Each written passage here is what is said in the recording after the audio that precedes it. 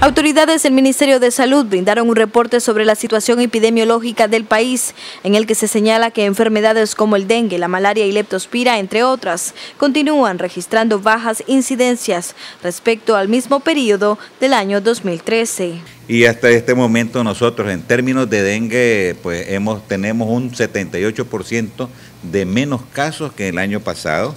En términos de leptospira es otra de las acciones que hemos venido desarrollando con eh, eh, eh, desratización y las medidas educativas a nivel de la población y hasta ahorita llevamos un 58% de menos casos de leptospirosis comparado con el año pasado. Hemos logrado un impacto positivo en la disminución de una serie de enfermedades que usualmente se elevan en este periodo. El éxito hasta este momento ha sido, en primer lugar, la prevención, tomar las medidas adecuadas antes de que el fenómeno suceda y la participación de la comunidad organizada a través de los, gabinetes.